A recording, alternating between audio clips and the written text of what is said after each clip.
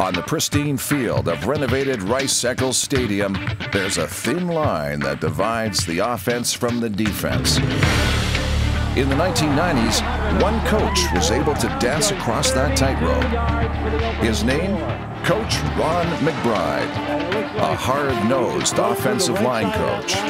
McBride knew his squad's road to success would be built on the defensive side of the line of scrimmage. With this renewed focus, Utah football began the arduous journey back to the proud heritage of the early years. Two conference championships and five bowl games, including the unforgettable 1994 Freedom Bowl win over Arizona's famed Desert Swarm, bore proof that defense was indeed the way forward. The journey picked up momentum with a top 10 national ranking and Utah's first win over LaVell's Cougars in their stadium since 1971. With one miraculous 55-yard kick off the foot of Chris Yergensen, the scoreboard read 34-31.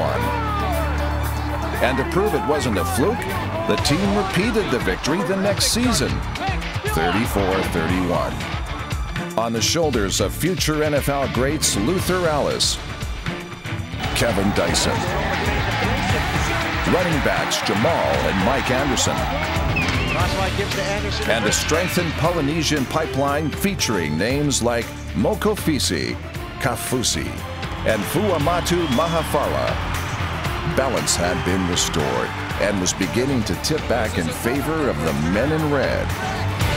What came next? Fasten your seatbelts. This is Utah football.